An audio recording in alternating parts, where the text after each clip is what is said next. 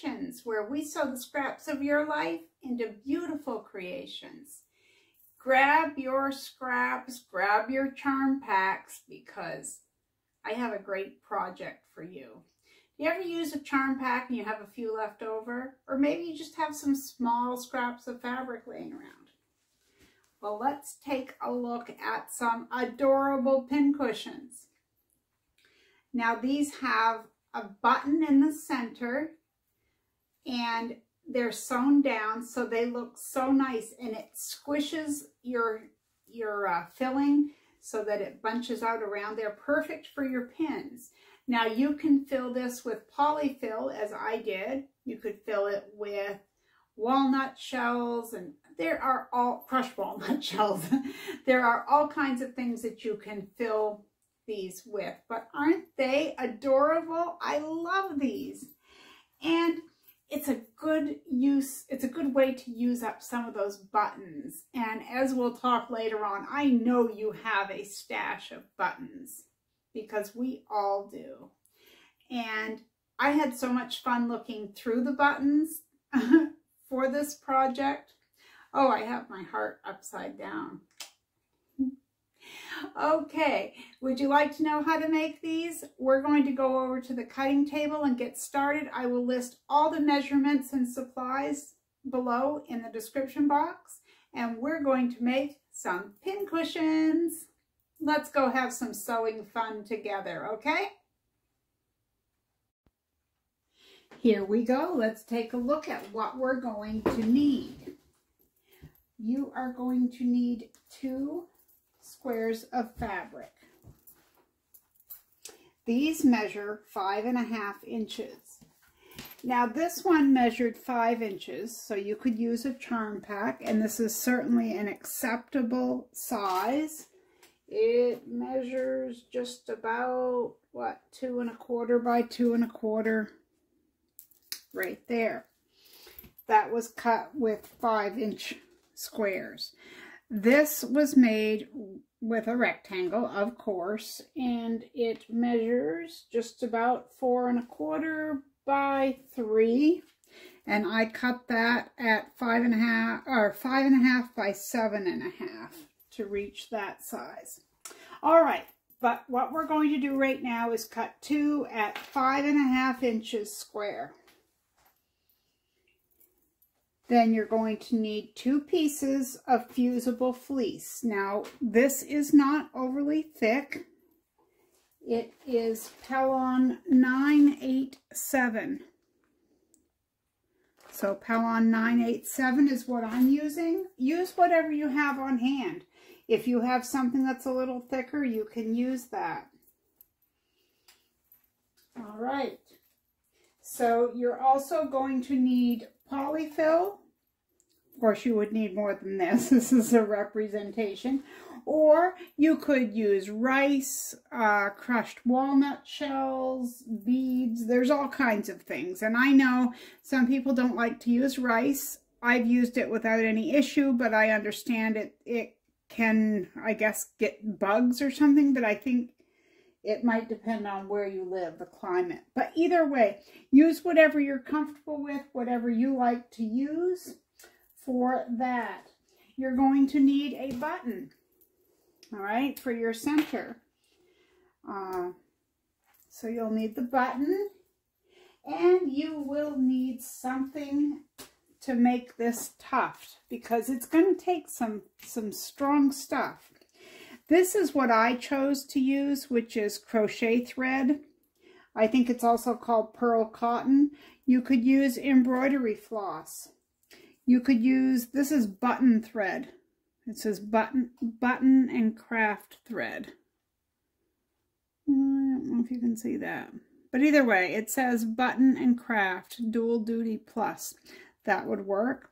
Or you could use a few few strands. I would use four if, if Believe me, this has got to be strong to, to make it for this. You you can't just use a regular thread and, and hope it turns out well because it, it's not going to hold it. Okay, then the next thing you're going to need is a large needle. I think they call these a tapestry needle. Uh, mine isn't quite long enough. but I mean, I'm making do with it. Uh, but my longer one actually had a huge eye on it and I couldn't get it to go through my fabric. So this one that I've used, that's about two and a quarter inches. And you're going to need a regular sewing needle. Just whatever you, whatever size you like to sew with because we will be sewing a ladder stitch. All right, the next thing you will need is a fabric marker, one that disappears or that you can wipe off because we are going to be making a small mark on our fabric. You'll need some sort of thimble or gripper. I found this especially helpful for grabbing the needle. It's just kind of like a, a rubber thimble. It's not very protective as far as the needle going through, but you can use a leather thimble, a metal one, whatever you have, but you might need a gripper. And if you don't have something like this, if you have a piece of shelf liner, that would work too. Anything that you can grip that needle with would be great. We're going to use a quarter inch foot on our machine. You're going to need the usual. I found this very handy. This is a one inch by six inch ruler. Of course, you can do the same thing with a regular one, but working in small spaces, I found this one especially helpful. And other than the usual, I mean, you're going to need your sewing machine, thread, scissors, rotary cutter, ruler, iron, all that sort of stuff. All right, so let's get going. The first thing we will do is take care of our fabric. Now I cut these at five and a half, and I apologize if I said this wrong, but I cut these at five and a quarter. So they're just slightly smaller. And the only reason I do that is I don't have to worry about it being getting stuck to my iron or my ironing board. So you take the rough side, the glue side, and you put it against the back side of the fabric. Just kind of center it. You can just eyeball it.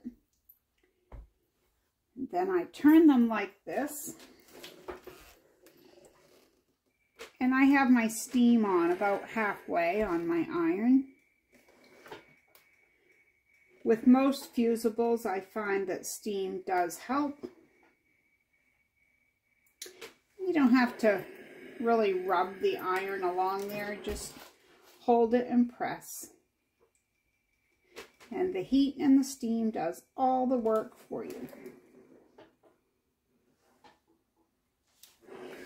Just like that. I made an oopsie. I forgot something, so I have another pin cushion that's all, it has the uh, fusible fleece on the back. We need to find our center. Now this block, this square here is five inches. So I'm going to be at two and a half. So right at two and a half over and in, I want you to make a little mark because that's the center where your, but your button is going to go. Now, because I haven't decided which side I want the button on, I'm going to mark both.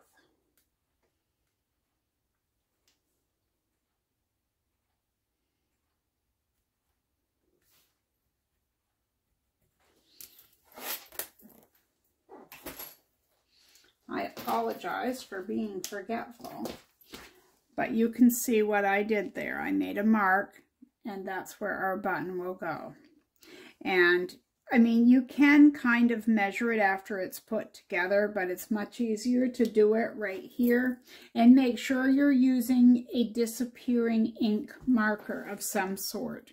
Or if you don't have one, you could also pin it which is what I used to do. I'd put one pin one way and one another to do the same, the same thing.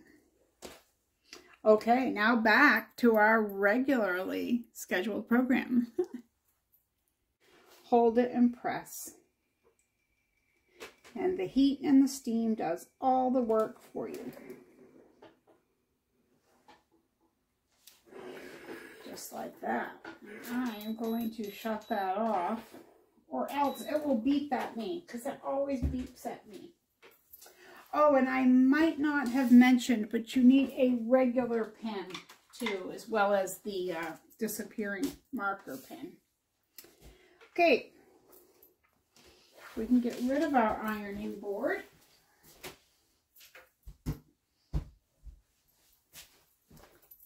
And I'm going to take that little tiny ruler that I had and I am going to measure from the outside of the fabric, not the not the uh, fusible, but from the outside of the fabric. I'm measuring one inch along all four corners.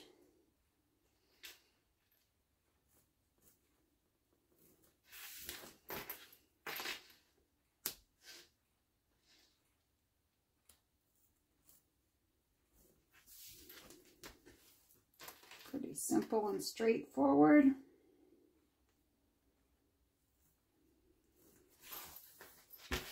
I'm going to do it to both pieces.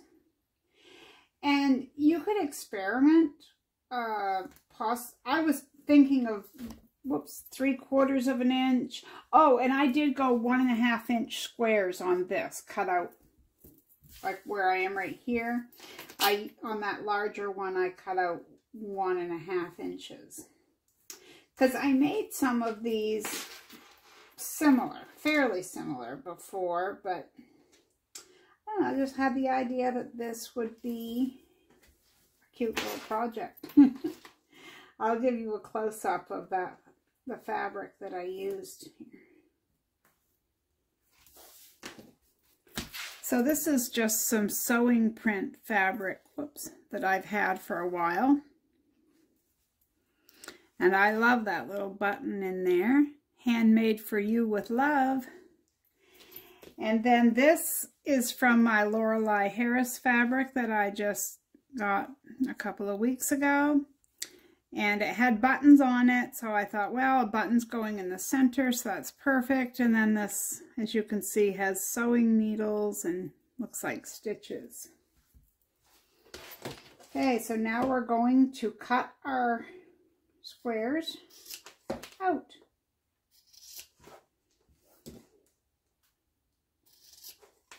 And you might do that with a rotary cutter. I can't. I'm not that talented with a rotary cutter, so I stick to the basics. But whatever you can do or want to do, you take care of that and you do that. Okay one more and we'll be on our way.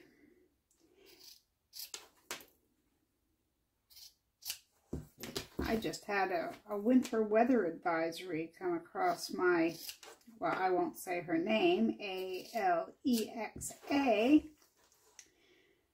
And I guess we're going to get more snow.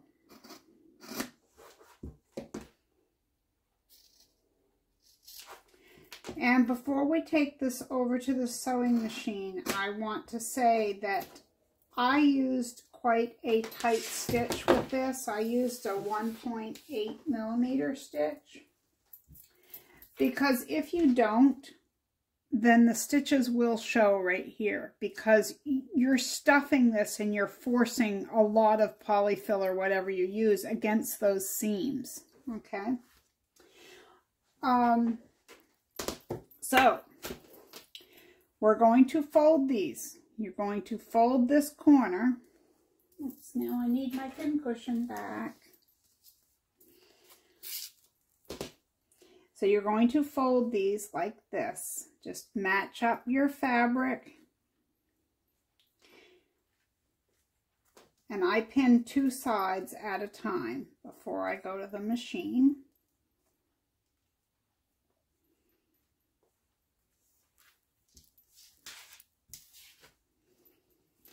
Nothing too difficult so far, right? Thought you guys might like something different.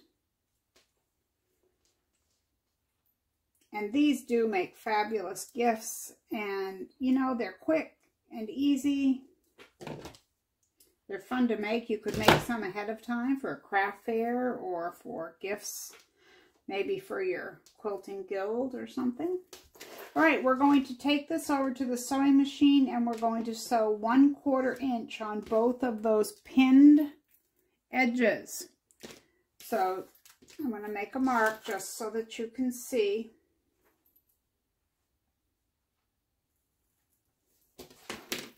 You're going to sew. You're going to back tack, sew, and back tack right there. You're going to do that on both of these sides. And meet me back here. Don't go away. All right. Those are some short seams right there. Okay, so this is what it should look like. Kind of looks like a gravy boat. now you're going to fold it the other way. Line up your edges again and pin them.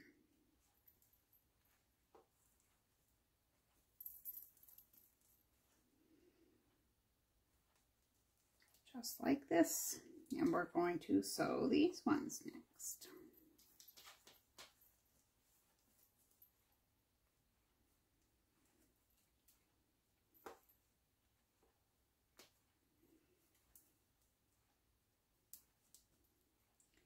Right. Sew these with a quarter inch just like we did before.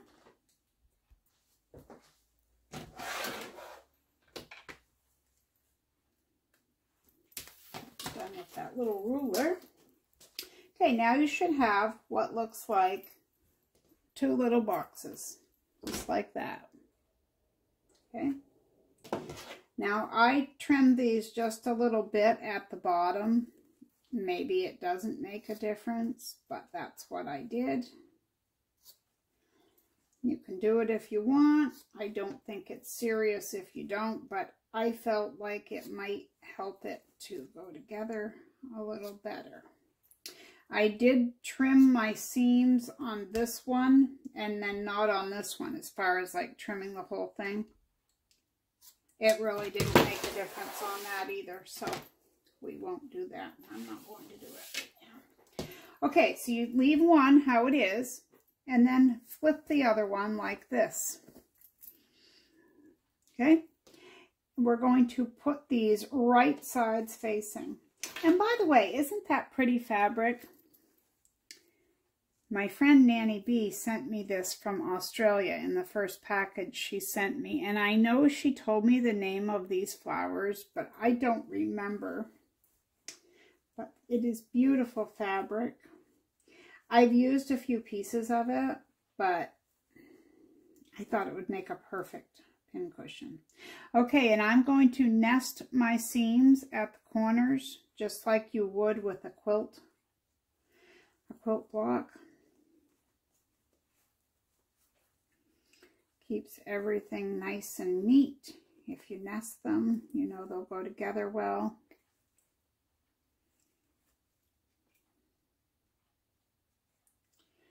Just place a pin.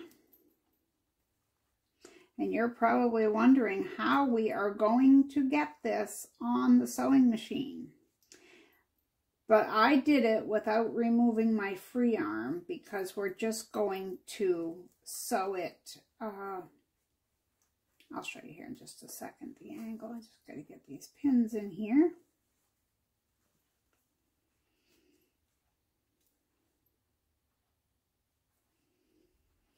Before we go any further, we need to leave an opening, okay?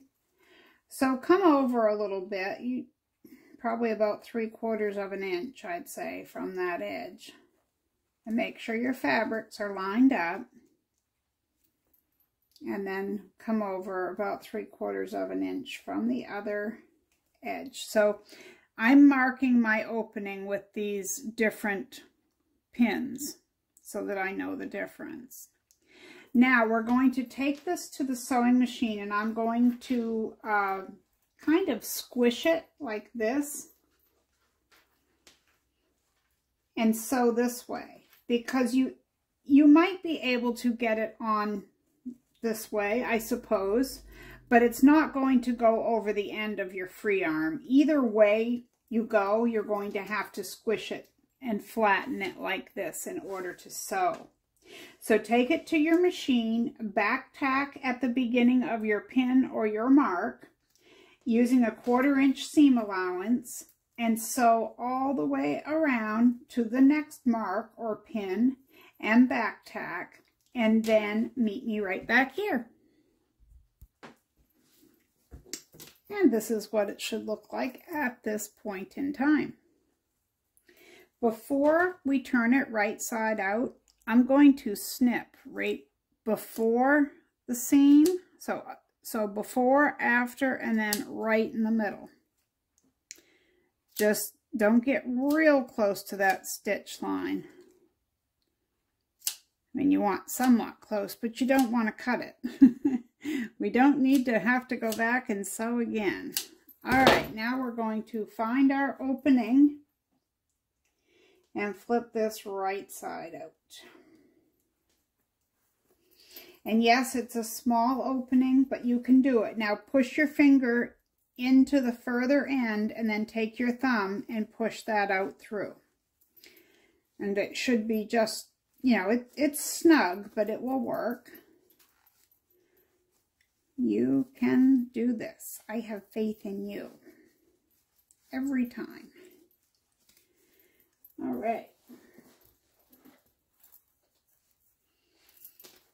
I have my pokey tool, which just makes it a little nicer and a little easier. Oops, where's my opening? To get all my corners. Those pesky threads are everywhere. I tried trimming them, but yeah, they're everywhere. Okay, and we kind of have a box shape. And I go over to the iron at this point. Oops. And I fold this in a quarter inch. I guess I should turn my iron on.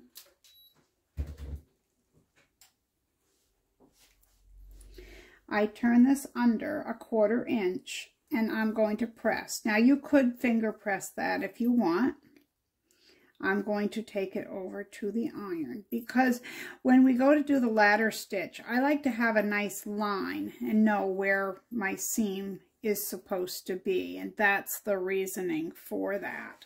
So I'll do that. All right, I have this ironed. It just neatens that up a little bit. Okay, now we're going to put whatever you've chosen to put in I'm using polyfill because I do not have any crushed walnut shells. And my polyfill is an actual pillow from Walmart. And if you wonder why, instead of polyfill, I stopped buying polyfill because this is the same stuff and it's cheaper. if you buy a 16 ounce, so a one pound bag of polyfill at Walmart. It's $5.37. But you can buy a 16 ounce or one pound pillow for $3.44. So you're saving just under $2 for every pound of polyfill. And a pound of polyfill really doesn't go that far if you if you make pillows, you know, like decorative throw pillows or what have you. All right, when you put this in here, make sure that you poke it out to your corners really well. I always do the corners first. And I try not to use too much at a time. It does work better if you stuff a little bit at a time. I thought about using a yellow button on this, but then when I saw the green, I thought, no, that, that green button is going to match really well. It has almost a stone look to it. I don't know if you can see that, but it almost looks like gravel on there.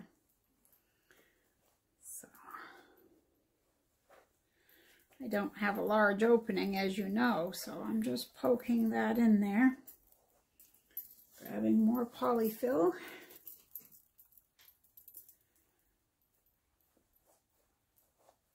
Takes quite a bit. I've also made uh, pin cushions where I put rice or beads along the bottom and then filled the rest with polyfill so that there was, you know, a, a weight at the base of it. Gotta Get some over in that further corner. Because these little pin cushions look better if they're overstuffed because then when you tighten that thread down, it really shows. It, it looks like, uh, oh, when I was a kid, they used to have the, the footrest. The hassock is what we called them. And they always had that great big button in the middle. And it was, it went at the bottom of your chair for you to put your feet on. And that's what these remind me of. All right, so you want it nice and firm. Poke it in all your corners and then usually you'll have a little opening right there that you need to fill in before we start sewing. And we're going to use what's called a ladder stitch. I think it's also called an invisible stitch, but don't quote me on that. I know how to do it, but I don't know how to name it. All right, let me get rid of my polyfill. I have a piece of thread, and this is doubled over. Whoops, can you see the, whoops. I have a loop.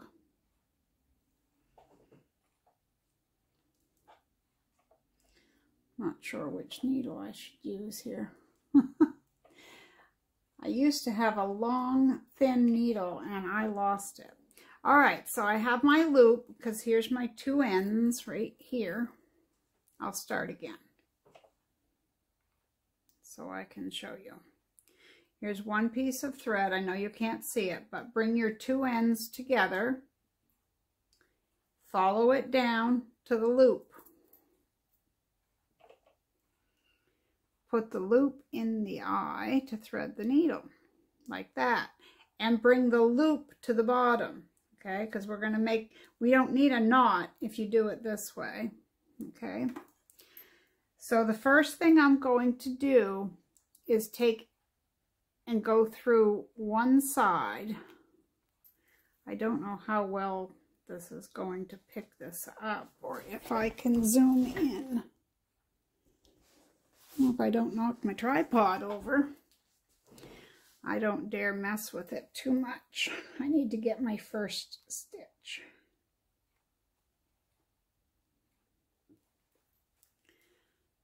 All right, can you see, I'm just taking from one side. And like I said, we don't have a knot, so carefully. And then when you see that loop, put your needle through the loop. There, now you don't need a knot. Now we're going to go over to the other side and catch just a little bit.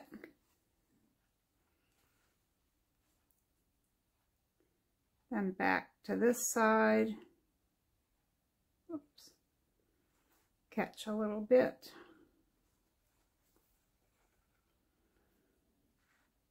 And you just go, whoops, sorry. Kind of an awkward angle. Let me see if I can get this on my lap a little bit more. And maybe you can see better it's one of those things that it's hard because the camera is on, you know, the phone is facing me, so I can't adjust it from here. All right. So I just keep going one side to another.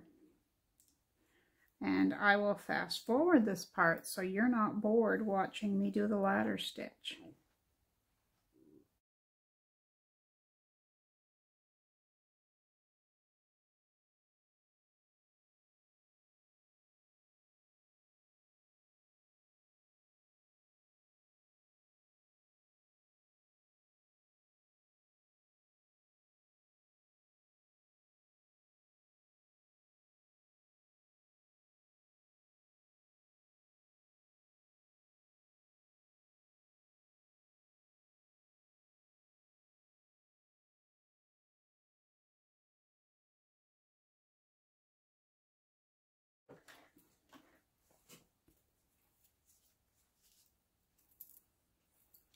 Now to finish this off, I, I made a stitch at the end and I'm going to put my needle through that loop two times.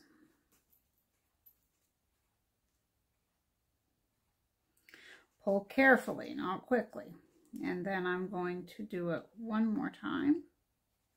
One more time for old time's sake.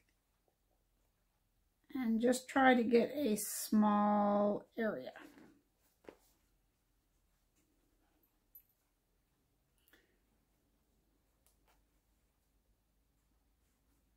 Oh, I can't get my second one in there. To do it again, I guess. Just do it twice with one loop each.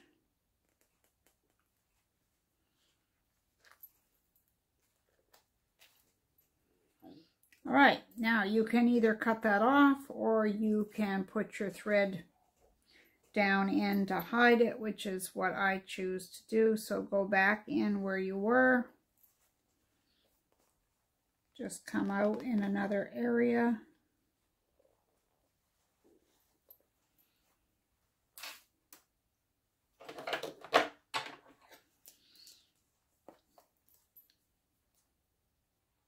Now,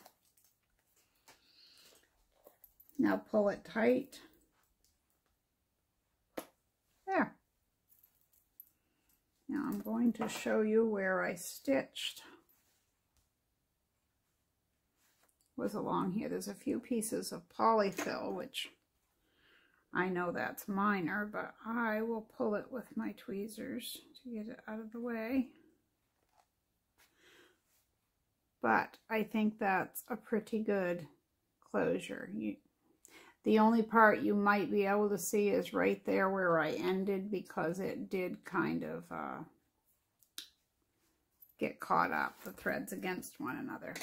Okay, now I am going to pause this and, well actually I guess I don't have to pause it. I have another piece and this is my uh, crochet cotton. Guess I've got a little more than what I need here. And then take your tapestry needle. We're going to do the same thing. Put the loop through the hole.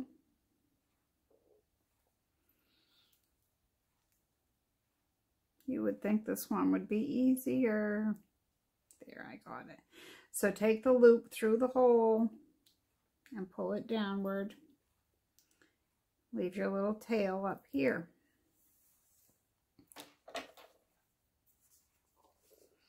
I'm going to put my leather thimble back in. Now, I didn't mark this, so I'm just going to eyeball the center. It's hard to come up exactly straight in the middle, but I don't think anyone's going to measure it. So grab that needle. This is where this gripper thing comes in handy. And if you had a piece of shelf liner, that would work too. Okay, now don't let your loop come through the other end, okay? Grab onto that. Pull this up a bit. And then go down beside it. Okay, you don't want to go back in the same hole for sure because you'll defeat your purpose. Go down and then poke around until you see that the needle is probably an eighth to a quarter of an inch away from that beginning. I'm going to hold it here. Oh, I dropped my gripper. Oh, there we go. Okay, now put that, put that needle through the loop before you lose it. Now, I want you to squeeze this together at the same time that you're pulling your cotton thread, okay? So I tightened it a little bit, I cinched it, and now I'm going to hold down and squeeze, and I'm going to pull that, okay? And you don't want to pull hard enough to break your, your cotton, but but you do want that tuft there, see? All right. And I haven't forgotten about the button. We will get to that. Now go back down in a different place. I mean, you don't want to keep repeating the same place. Just go pretty close.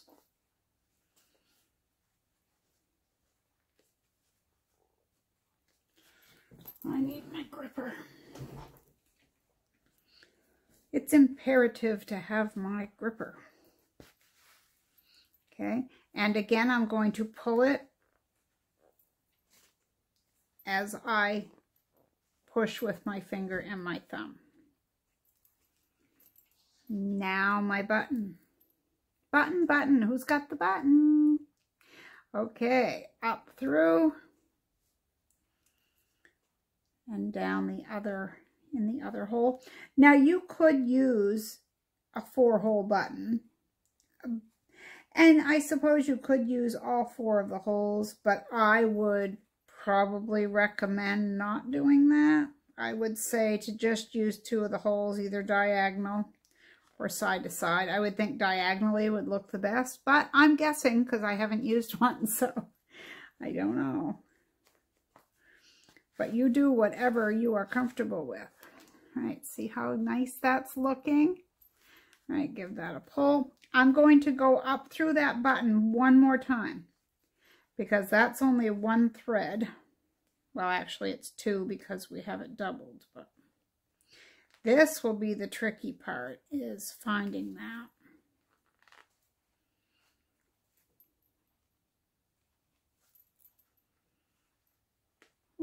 I got it. And I dropped that again.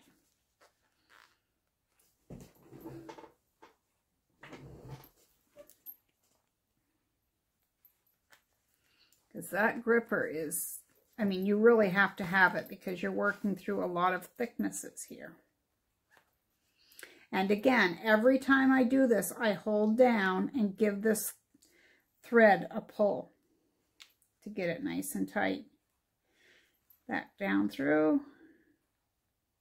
Because this is it. We're tying it off and we're done. All right. Now I'm going to take one strand out of there. So I only have one strand here. And I'm going to go grab up a little bit of fabric. And it is difficult because your, your area down here is pulled very tight, but that's how it should be.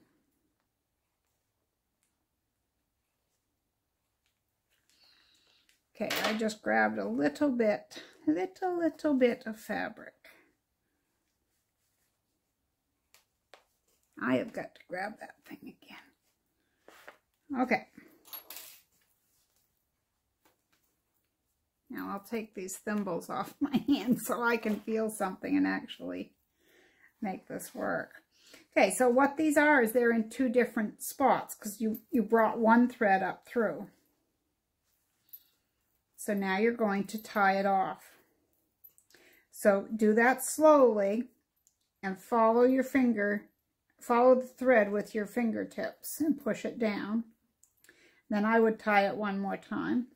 It probably wouldn't hurt to put a dab of glue in there. And then I'm going to snip those off. Look at that. Isn't that cute? Okay, look at that. We're all finished. I really like the way this one turned out. I knew that fabric would, would make a pretty pin cushion. It's beautiful fabric. So again, this one was made with a five inch block. So it's charm pack friendly. This one was cut at five and a half and this one was five and a half by seven and a half. Now these both used a one inch corner cut out of them and this was one and a half. But I, I think they're a cute little project and you know, they make a great gift for anyone that you know who sews. They're just cute. And see the difference? Like I made it two different fabrics to see how it would look that way. I don't know. There there isn't a favorite. I can't choose whether I like all one fabric or two different. I don't know. What do you think? So the creative word of the day today is going to be button because it's a good time to dig into your button stash because I know you have one. If I have a million buttons, I know you have at least a few that you could rummage through and find. In fact, this one here was all wavy. It's not flat. It's It just kind of goes a little wonky. And I thought that was so cute to put on this one. And as I showed you, this one says handmade for you with love. And then this one had the look of gravel on the green. So I really like that. So again, our word of the day will be button. So for anyone new, the creative word of the day is something I give and you use it in this in a sentence below the video. Now don't forget to click the thumbs up. You want to click the like button and leave a comment. And if you leave a comment with the creative word of the day in it, your name goes in a drawing for our monthly prize win. And if your name is chosen, I will get your mailing address and I send you something that is handmade by me exactly for you. Now, doesn't that sound fun? And if you haven't already joined us on Facebook, I invite you to look us up. Just type, go to Facebook, type in Marie's Scrappy Creations, or you will find a link below in the description box. All of the measurements will be below in the description box. Uh, feel free to ask questions. I'll get to the questions as soon as I can if you have any questions whatsoever. And feel free to share this video across your social medias. I really appreciate when you share it, whether it's on Facebook, Pinterest, wherever. It's great for you to share my videos and it really does help me out. So thank you so much for hanging out with me today in the sewing room. I really love to sew with you. And this is a very beginner-friendly project, as well as something that's great for those of us who have sewn for many years. It's just a great project. I hope you make one or 10, and I hope to see them on the Facebook group. I hope you share what you came up with. I'll see you next time right here at Marie's Scrappy Creations. And remember, be kind out there. The world needs more of that.